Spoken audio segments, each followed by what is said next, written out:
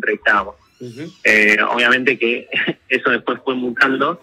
Eh, al principio empezamos así como un hobby, haciendo una entrevista cada tanto, eh, y de repente se nos fue un poco de las manos.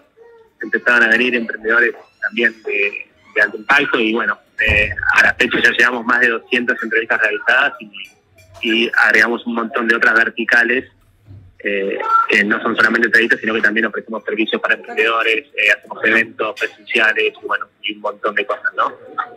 Está muy bien, está muy bien. ¿Y, mm, qué crees que les, eh, o en qué crees que les beneficia a los emprendedores el hecho de, tener un espacio donde puedan contar su historia, donde puedan conectarse con otras, con otras personas que tal vez, si bien tal vez no son la misma industria, están atravesando las mismas situaciones o problemas o desafíos eh, ¿qué, respuesta tenés de los emprendedores? ¿Te agradecen el espacio? ¿Te comentan que les sirvió por algo? ¿Cómo, cómo es la relación con ellos? Sí, un montón, o sea, un montón de cosas. Para empezar, eh, hay muchas personas que no, no tienen por ahí el conocimiento eh, técnico y audiovisual como para hacerse ellos su propia nota y, y, subirla a redes sociales, a canales de YouTube y eso.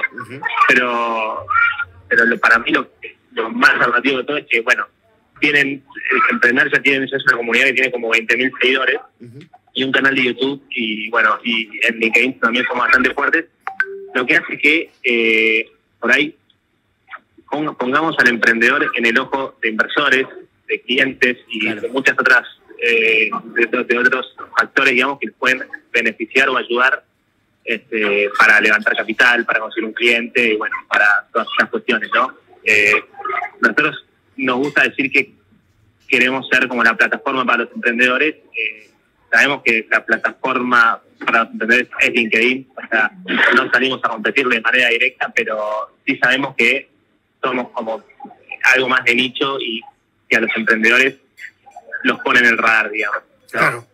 ¿Qué tal, Felipe? ¿Cómo estás? Acá Federico te saluda. Un gusto.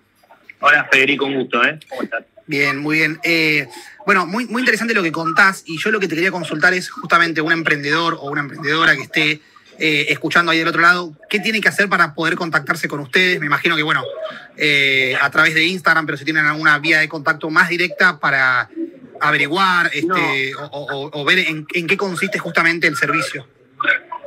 Al principio, a ver, eh, nosotros al principio nos escribían por Instagram y teníamos directamente un 100% de, de, efectividad en cuanto a eh, la persona que nos escribía, la entrevistábamos y le dábamos el espacio. Hoy en día tenemos ciertos filtros por un tema de que en Argentina, sobre todo, los emprendimientos, el primer año es como medio clave y muchos emprendimientos, de hecho, el 93% de los emprendimientos no duran más de un año. Entonces, por ahí está la, la persona que tiene una idea revolucionaria y se junta con dos amigos y empieza a hacer algo y quiere salir en la entrevista y nos ha pasado, de hecho, que podemos subir entrevistas que después le pregunto, che, ¿cómo vienen? Y nada, eh, tuvimos que cerrar, nada, al final la idea no era estar así, entonces, bueno, eh, tratamos de tener ciertos filtros de, bueno, date un año al proyecto, fíjate cómo venís, fíjate, porque también pasa mucho que el emprendimiento tenga un giro de 360, o ahí puedes empezar mm. vendiendo 100 dólares y te diste cuenta que tu modelo de negocio era mejor vendiendo billeteras. Entonces, este nada, pasa mucho eso. Entonces tratamos de tener ese filtro. Eh, pero bueno, si nos quieren contactar, obviamente eh, el Instagram es. Y sí. la gran mayoría que quiere eh, salir nos, contacta por ahí. Felipe, ¿por qué te parece que hay una o por lo menos lo veo este, sin números reales ni, ni, ni, datos concretos, creo que hay como una fuerte vocación de, del emprendedurismo en Argentina. ¿Por qué te parece que hay tantos emprendedores y tantas emprendedoras que eh, quizá dejan un laburo en el que están estable, pero que no tienen una posibilidad de crecimiento muy grande con el correr de los años. Me imagino que tiene que ver eh, los números de la crisis y de la inflación eh, y la posibilidad de que capaz uno por sus propios medios pueda eh, no tener techo, con todo lo que eso significa también al comienzo y con todo un, nada, un riesgo enorme. Pero ¿por qué te parece que hay una vocación de, de emprendedores tan grande en el país? Mira, yo creo que en Argentina emprender es muy fácil. O sea, eh, ¿A qué voy con esto? Vos querés, eh, no sé, ponerte una empresa, como hice yo, una revista online, y en dos minutos agarras una cámara, te pones a filmar, eh, das un Instagram, una página y estás en el aire. Eh, por ahí en otros países hay ciertas, ciertos mecanismos regulatorios que hasta que vos tengas la idea, desde que vos tengas la idea hasta que eso se haga real, pueden pasar unos años o bueno, por ahí si, si tenés la suerte, eh, meses.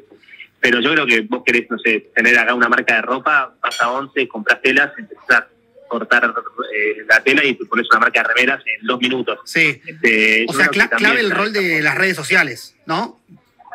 clave el rol de las redes sociales y también yo creo que eh, el argentino también en general es muy inquieto, ¿no? Este, yo me acuerdo que he laburado muchos años en relación de dependencia y siempre he hecho otras cosas como, no sé si para ganar plata en sí, pero es muy curioso también, entonces quieren ver cómo les iría trabajando otra cosa.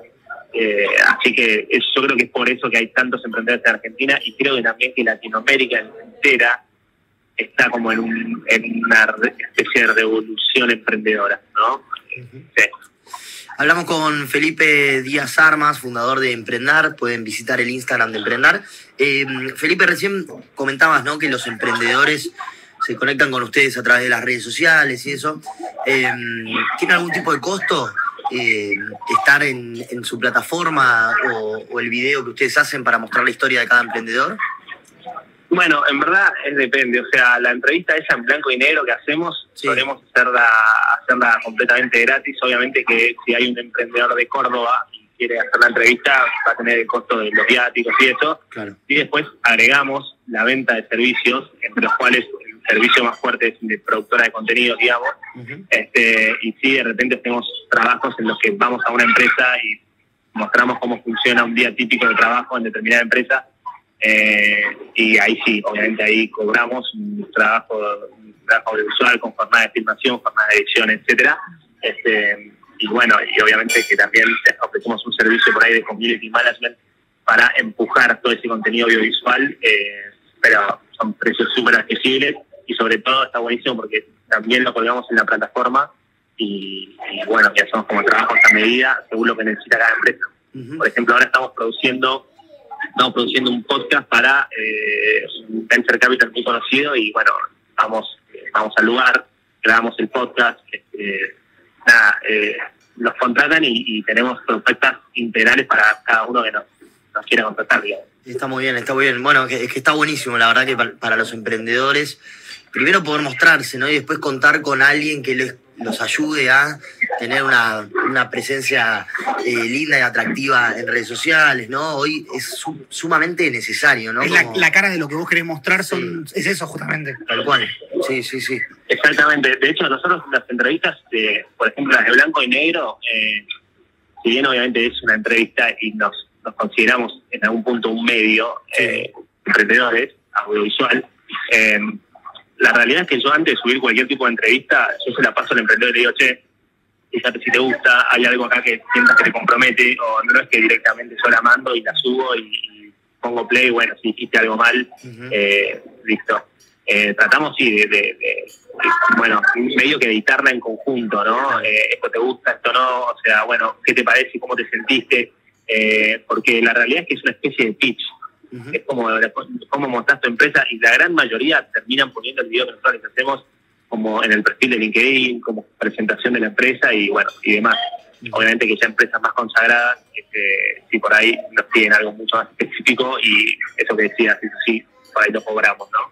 Claro, está muy bien, está muy bien. Bueno, Felipe, ha sido un placer charlar con vos. Invitamos a todos a que se sumen a esta comunidad y que los visites. Si querés, eh, recordarnos las redes sociales, dónde los pueden encontrar, dónde los pueden buscar.